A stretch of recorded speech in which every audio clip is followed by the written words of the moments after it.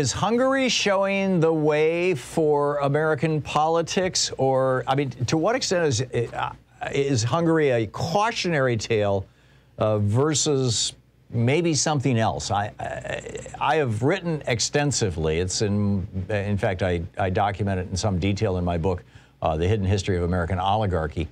About how Hungary has descended into oligarchy. Viktor Orban took over.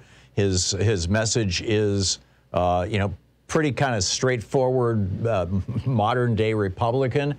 Minorities are bad.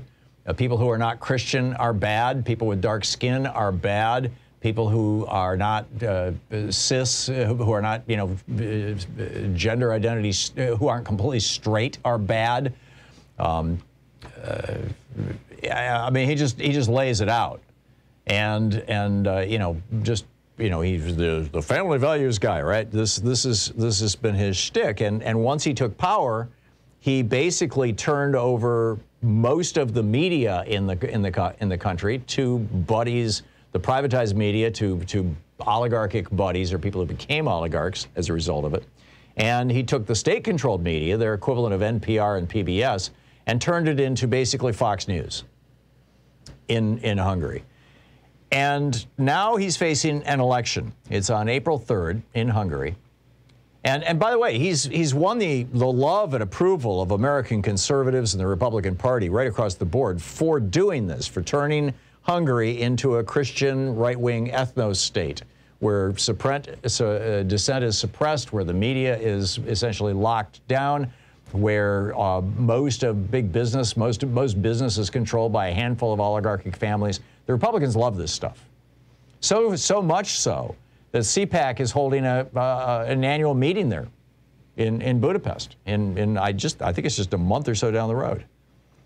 But in this election coming up, it's getting really fascinating because there are six parties. You've got uh, Orban with his Fidesz party, which is basically the, you know, just a little short of, uh, it's not the Nazis quite. It's kind of like, you know, the soft Nazis.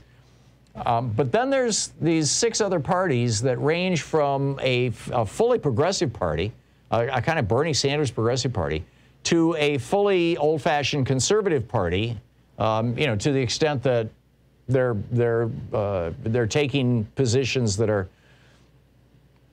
I don't know, socially conservative, shall we say? You know, they're they're not supporting, for example, uh, uh, gay marriage or gay equality or things like that. They're not supporting um, you know, more immigration into the country. So you've got this spectrum. But the, the guy who is most likely to give Orban a run for his money on April 3rd, and again, the observers in the country are still very skeptical that anybody can take on Viktor Orban. I mean, the media is, uh, he owns the media. His party is spending three times more on social media advertising than anybody else is. So he kind of owns Facebook and other social media. Uh, so the odds are very, very high that on April 3rd, Viktor Orban is going to get, quote, reelected. But the, the one guy who's taking him on with this six party coalition, including, you know, from the left to the right, is, is a, uh, a fellow by the name of uh, Peter Marki-Zay, M A R K I Z A Y, Peter Marki-Zay, who is a conservative.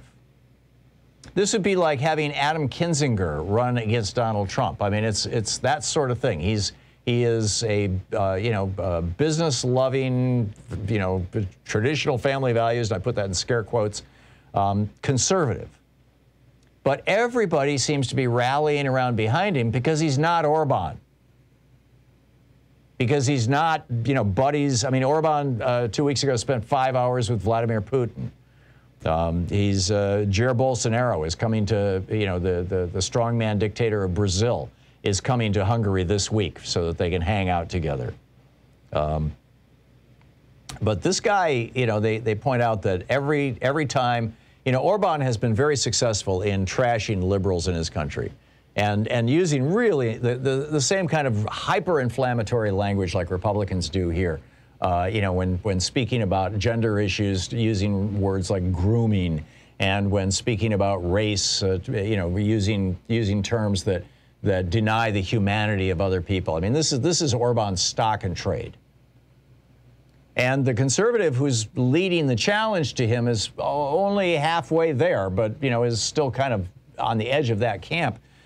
But he is getting attention in as much as he's not Viktor Orban. So you know, keep keep your eye on this. This is going to be real interesting to watch. Um, uh, this was, for example, Orban gave a speech right after he spoke with Putin, speaking about himself and Putin, and he said, and I quote, "We think differently from each other about Europe's precious legacy of tradition." Uh, we think differently about the future of nations and nation states. We think differently. Um, excuse me. He's he's speaking about himself versus the rest of Europe. We think differently about the future of nations and nation states. We think differently about globalization, and now we think differently about the family. And uh, this is this is his whole uh, Orban's. You know, he, he, by the the we when I said you know the him and Putin, that was the we. Orban and Putin think differently than Europe about Europe's precious legacy of tradition, and nations and nation states and globalization. So it's going to be interesting to see how this plays out and to what extent he can hang on to this thing. Over on BuzzFlash, uh, my old buddy Mark Karlin has a fascinating piece. It's titled Ukraine is Putin's Sudetenland. And I, I absolutely agree with this. Mark is putting this in historic context about how uh, the Sudetenland, part of Czechoslovakia, um, was basically, you know, given up. There was a large German-speaking population there, and and uh, you know they they uh, uh, the world essentially you know gave it to Germany, and Neville Chamberlain said, okay, that's it, that's all he wants, and then you know it was on to Poland in 1939 and and the massacre of Poland. I'm I'm I'm I'm with Mark on this. I don't think that this thing ends with with uh, Ukraine if Putin wins. On the other hand, if he loses, this could be the beginning of a substantial new world order. And frankly, I think the wild card in this whole thing is going to be China um, and, and, the United States, of course. So, you know, we'll see, we'll see where this goes. Anyhow, uh, let's pick up.